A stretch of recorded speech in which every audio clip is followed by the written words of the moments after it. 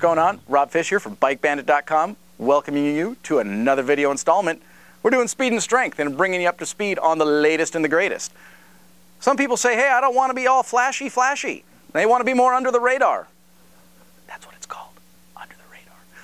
Under the radar from speed and strength. Just the basics. Going to give you a quick 360 and let you know it comes in a red, a blue, a green, a black, and the ever so sexy silver.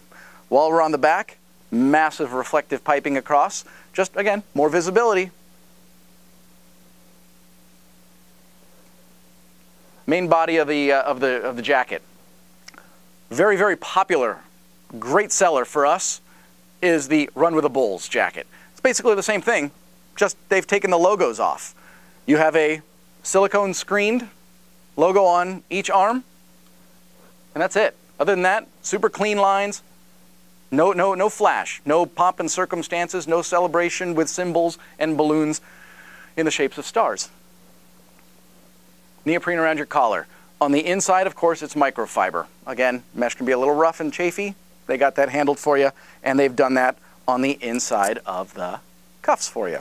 And the gusset, that's done in that microfiber, so when you do cinch it down, you don't get that massive bulk that's wrapped kind of in a pinch spot under your glove adjustments on your waist, and you've got adjustments up on the sleeve.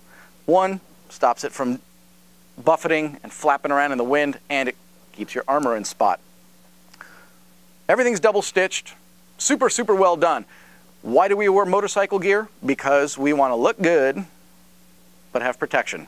So they've got you covered. Totally CE approved. That's your shoulder. That there's your elbow and your forearm, done by Vault